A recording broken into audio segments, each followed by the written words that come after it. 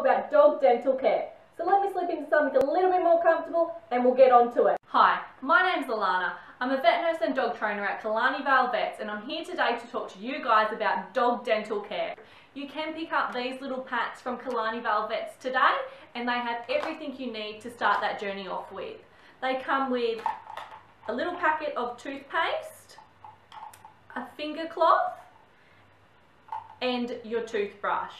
They also come with step-by instructions in the packet, but I will go through them today with you. Start off with, all you need is the doggy toothpaste. Now, Killarney Vale Vets do keep that on hand also in a bigger tube. Now you always want to remember to use doggy toothpaste as human toothpaste is toxic to dogs. It is designed for us to spit out whereas dogs aren't going to do that. So they have designed a toothpaste that they can swallow and is safe for dogs. Now this one is poultry flavour, so the dogs do tend to like it a bit more over the minty fresh breath.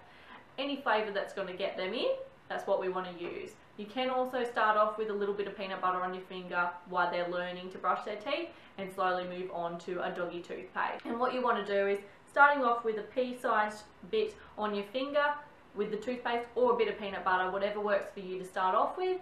And all you're going to do is let the dog lick it off and get them into a routine of that and them liking it can take a couple of days and then we'll move on to step two. To start off with, what you'll need is a dog and your doggy toothpaste. Sit. Good girl. And all you want to do is put the pea-sized bit on your finger and all you're going to do is let them lick it off.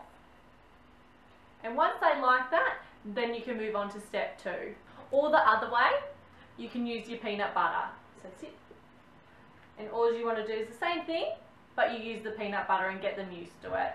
And all you do is let them lick it off. Okay, so for the second step in brushing your dog's teeth, you will need your toothpaste again, and you can just use your finger, or you can use the little cloth out of the kit also, or you can purchase a little finger toothbrush, and Killarney Vale Vets do sell these as well. Now all you want to do is you put a little dab again on your finger, touching their teeth and getting them to let you actually put your finger in their mouth, or use the cloth or the finger toothbrush.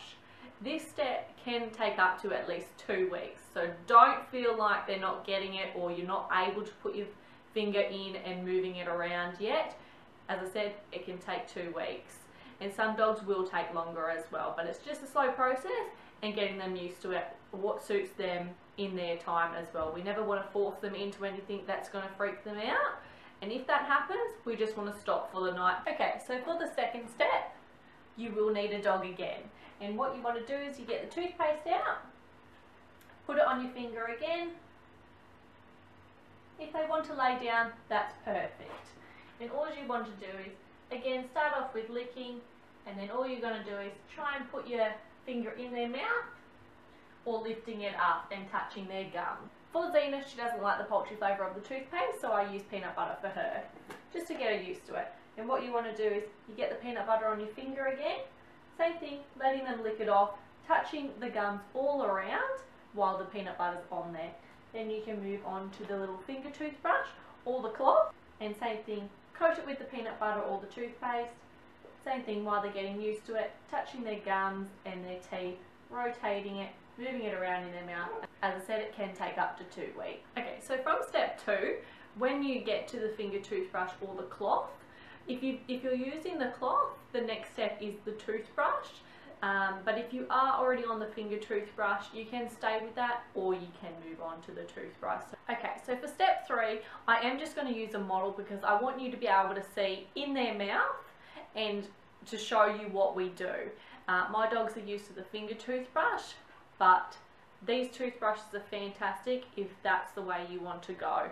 As it is the two, and it just goes over the top of them. So I will show you the step on a mold. So I'm just going to be using this mold here and the toothbrush looks like this. So as you can see it has two bristles on either side and the aim for that is you just have to go over the tooth and it goes on both sides back and forth from side to side up the top also in if you were just using a different toothbrush a normal face toothbrush, what you'd want to be doing is the round movements from side to side as well. But this one, fantastic, as you just need to go through them and it does all the sides.